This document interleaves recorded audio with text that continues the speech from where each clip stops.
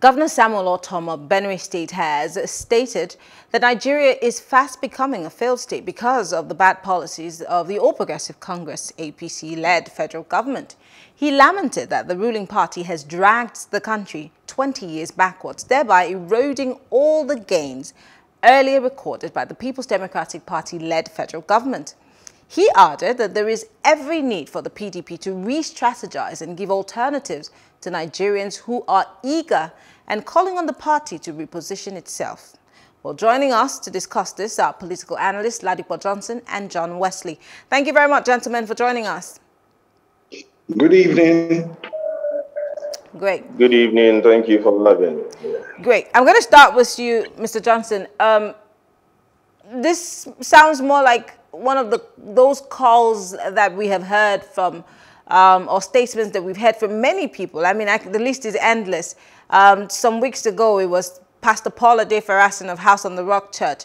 Um, a few days ago was a former running mate of Mr. President, uh, Pastor Tunde Bakare.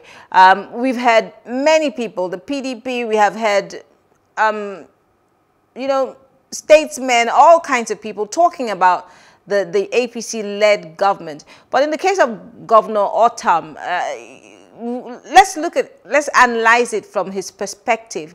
Where do you think he's coming from? Is it because of the hits that his state has been taking in terms of insecurity? Or is he uh, just speaking as a man in the opposition party? Well, I, um, I think that um, a lot of Nigerians are fast losing patience with um, where we are at um, and what government has been doing or has been unable to do. Um, Governor Ortom, as you know, has been at the forefront of um, the insurgency, banditry, um, burning of villages, and what have you. So I think that, um, yes, he's slightly more passionate about the entire situation. And um, there are some indices. When you talk about um, moving towards a failed state, there are some indices that you look at. And part of those, I think, have um, showed up in Benue. And so he, he is pained and has a right, I believe, to um, speak as he has spoken. But um, um, we have not reached the status of a, being a failed state yet. But um, there are warning signals that this government must act on and make sure they turn things around. Hmm. Mr. Wesley, I'd like to quote uh, Governor Ortom uh, directly. He said um, that Benue State used to be fruitful. That's what he said, that, that his state used to be very fruitful. Um, and he talked about the fact that it is no longer the way it used to be. He talks about the fact that a lot of insecurity has eroded all of the benefits. Uh, I mean, we look at the states, states like Benue and, and, some other states as the fruit basket of the nation. But as it is now, it seems to be the fruit basket of a lot of insecurity and a lot of killings and kidnappings, which we have heard the governor speak and, and you know, um, condemn over and over again. Um, I'm sure that, of course, you live in Nigeria, the cost of living has been really high and uh, our purchasing power has not increased in any way. Um, do you think that maybe this is part of the reason why the governor is making these statements? Is it that the insecurity uh, that we're facing in these parts of the country has affected, um, you know, the agricultural output and, of course, the economy in its entirety? All right, thank you very much. I will speak in affirmation.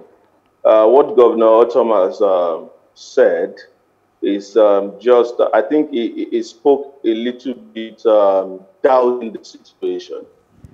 As we speak, if I want to speak in clear terms, so many people go to bed hungry. So many people go out on a daily basis with no assurance of getting back to their homes. So many people live from hand to mouth. Now tell me, in a country where the government cannot provide food for its people, tell me if such is not a failed state.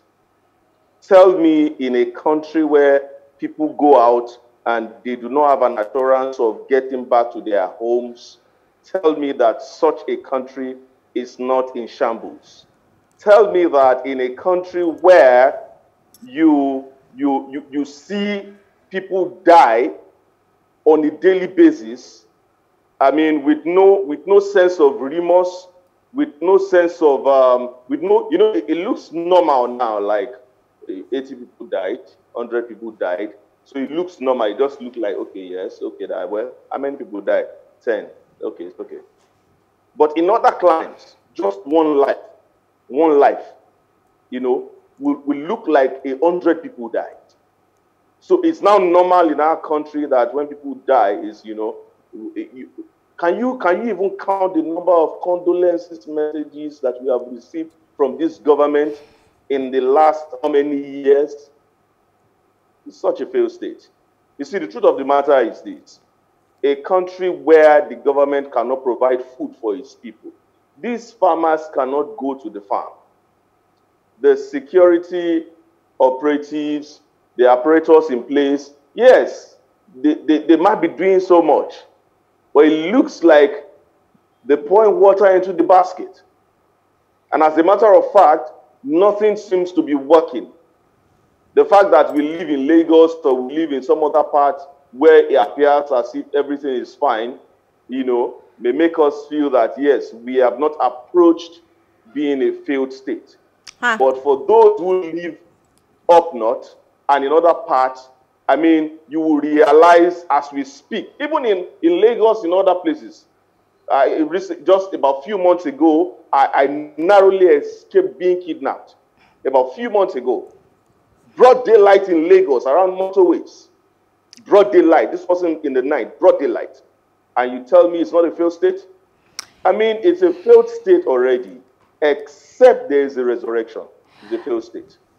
Mr. Johnson, are we not being a bit too harsh and a bit too, you know, um, we're putting out too much gloom and doom there when we talk about the fact that Nigeria is a failed state. Now, let's critically look at this the APC and the PDP, I was talking to, you know, some representatives of the party yesterday, and I, I truly asked what the difference was between the APC and the PDP, and I'm not in any way trying to condone whatever the government of Buhari has done or hasn't done, but we have seen these politicians crisscross back and forth, and they're all one and the same. The people who are in the APC today were once in the PDP. Can we really say that this government has failed or can we just generally say that our politicians have failed? The people who are against the APC today used to be PDP members. How have they also worked or helped in their own capacity to better the lot of Nigerians? Well, the, the, the, the bottom line is that you're right. Politicians have moved back and forth. However, government under the PDP got to the got the country to a certain stage. Government under the APC is still in power. They're still administering, and we can look at the various indices: inflation, insecurity, um, the devaluation of the naira, and what what have you.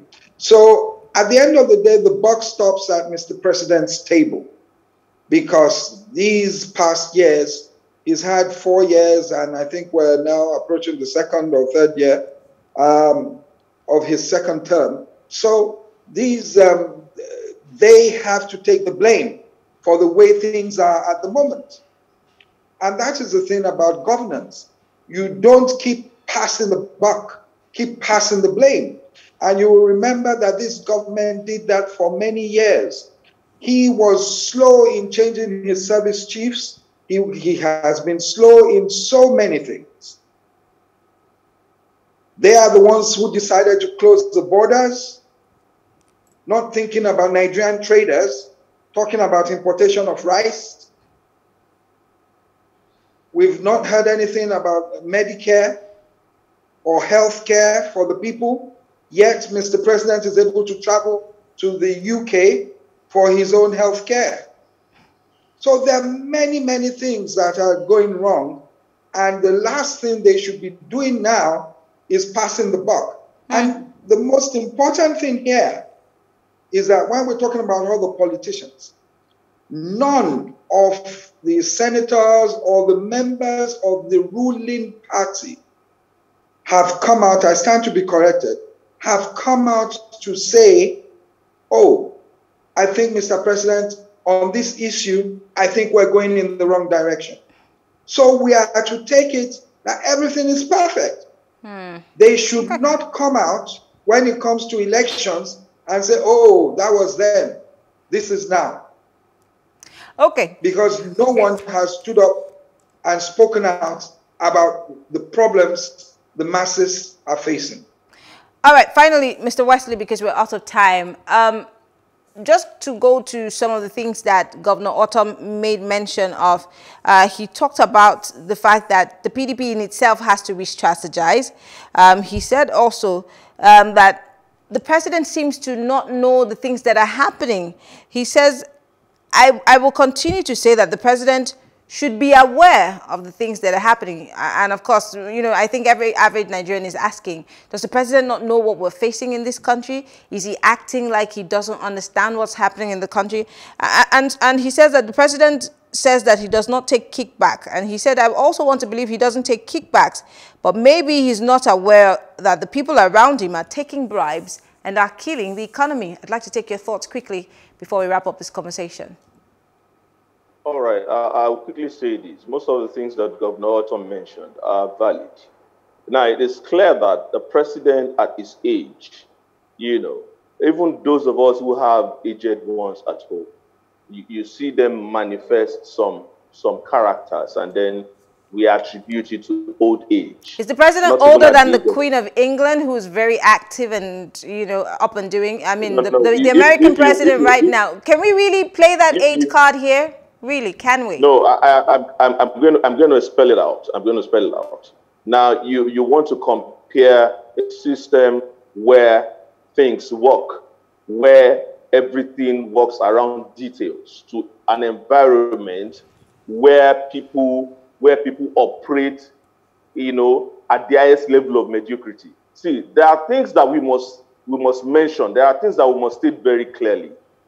The president is of age and hardly remembers most of the things that he even reads.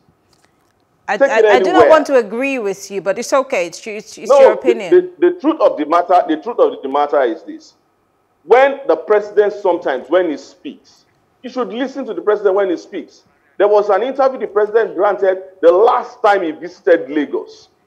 It was in Lagos. You need to hear what the president was saying too many inconsistencies in the things that the president was saying. It's clear that even when the president reads reports about things that are happening, there are some of these things that flips away from the memory of the president. You mm. cannot throw that into the are, are, you are you insinuating that our president is not fit to rule? I mean, I don't I don't I don't believe that. Uh, I'm so sorry. I think that we have a connection prog uh, problem, but well, we're almost out of time. I want to thank my guests. Unfortunately, uh, Mr. Wesley is frozen. Um, thank you very much, Ladipo Johnson uh, and uh, John Wesley for being part of this conversation. Unfortunately, the internet is not very friendly. Thank you for being here. Well, thank you everybody for being part of this conversation. At this point, we have to say our goodbyes. We'll be back tomorrow talking about more news and political issues on Plus Politics. I am Mariana you.